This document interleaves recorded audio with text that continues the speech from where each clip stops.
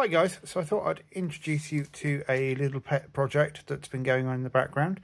This is the 8-bit Swiss Army knife and this is a board for bus debugging, device testing. It's kind of a bit like the retro chip tester. It's probably not as flexible in some respects, but way more flexible in others. So we have an STM32F103 here that's driving these three uh, SPI GPIO expanders. And you can see we've obviously got a board routing problem there. We managed to route one of the USB pins to that. Uh, first version of the board done fairly quickly. We've also got an issue with how that DIN connector sits as well. Um, then we have a general purpose breakout board and then we have a um, sort of dip adapter. It's not an EEPROM adapter, it's just a general dip adapter. So nothing from here is committed. It's whatever this red board is plugged in here that decides what it's going to be. We have a address bus and 16-bit, yeah, 16-bit address, address bus and 8-bit data bus uh, assigned to one chip, so we can do those at uh, single byte or single word access, and then the rest is GPIO. And then we'll just jump it over so we can read this EEPROM. And this is currently running through a serial um, terminal, and if we just go E, we have our EEPROM here. Uh, this EEPROM is filled, let's wait for it to finish, there we go.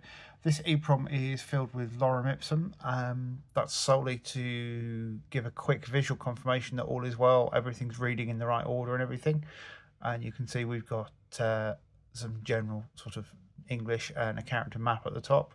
And yeah, that will read fine. So that's a test that we can read sort of an 8-bit device. Um, and yeah, that works really well. So the plan is, is depending on what you want to do, um, you'll change this board. Uh, you've got 40 weight, 40 pin header on here, 40 pin header on here, which means you can use a bit of old IDE cable to go onto the board.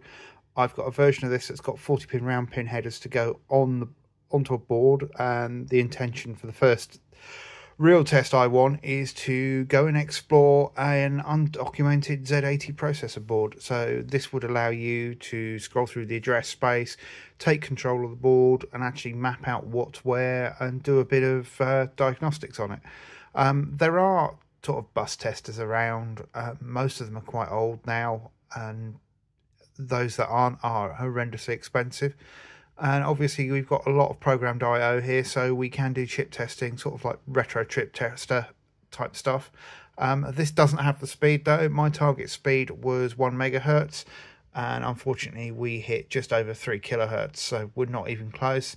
So these are being changed. We're going to change these to Atmega 16s, um, which I wanted to keep everything through hole.